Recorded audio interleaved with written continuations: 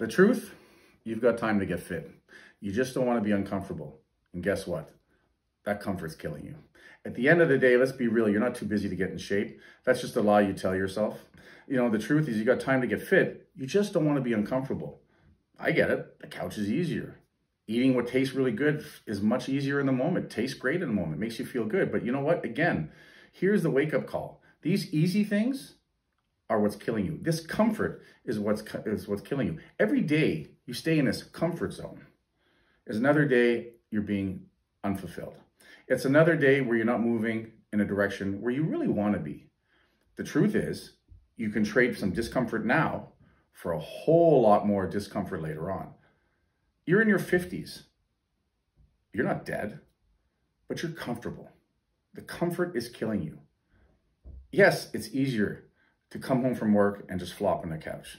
Yes, it's easier to sit there and scroll through Facebook and just go down that rabbit hole. Yes, it's easier just to watch a couple more episodes of Netflix, right?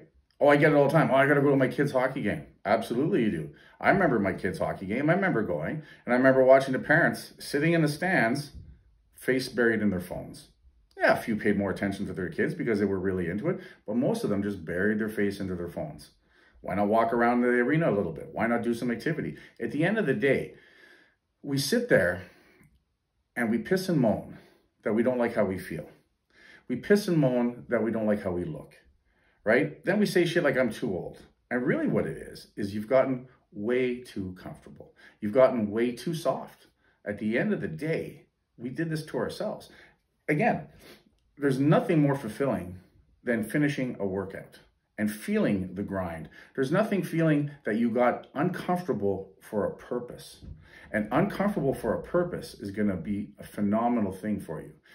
Comfortable, just for the sake of being comfortable, for the sake of not wanting to feel a little bit of pain, a little bit of discomfort, a little bit of breathing, a little bit of sweating. Yeah, you got to get off your ass. Yeah, you got to break some routines, right?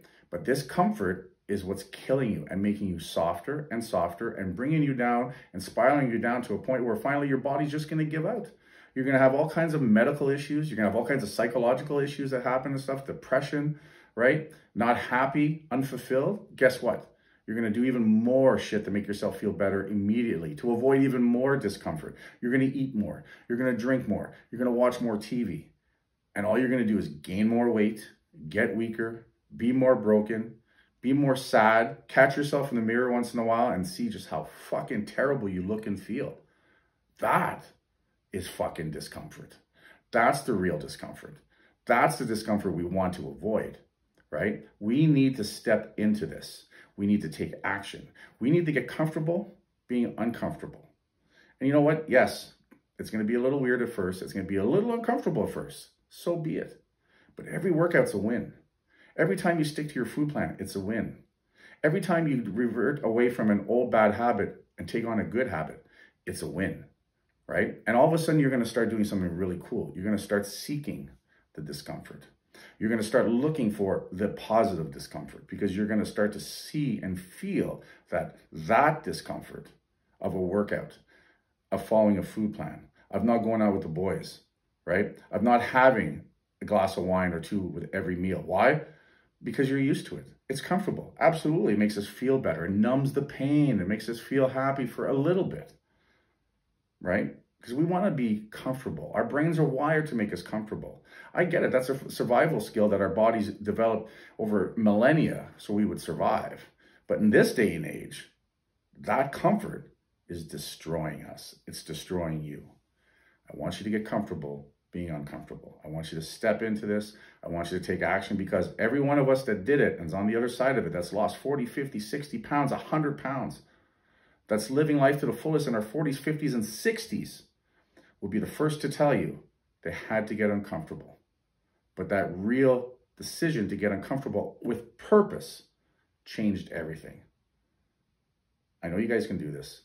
I did it. So many of my clients have done it, right?